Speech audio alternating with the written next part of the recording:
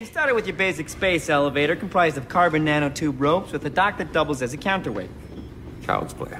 Michael Ironside, the legend. He was in Starship Troopers, uh, Total Recall, the original Top Gun, and on set, he was really funny. He's obviously got a really good sense of humor. I wrote this episode. He'd be like, Where's the writer? Th- what is this crap? Who wrote this crap? Let's get the writer in here to change this.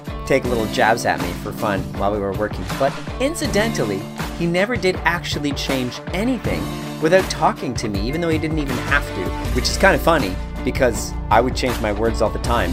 Even the words I wrote, I'd have to change because, you know, when you hear those words in your head while you're writing, um, it's a lot easier to say them than when they're trying to tumble out your mouth through your lips and it's a whole lot of techno babble. Getting that respect from a legend, is such a testament to his professionalism. Just an amazing guy and an amazing actor. I was on cloud nine for that whole week and a half. This wasn't just a highlight of Andromeda for me, it was one of the highlights of my whole career.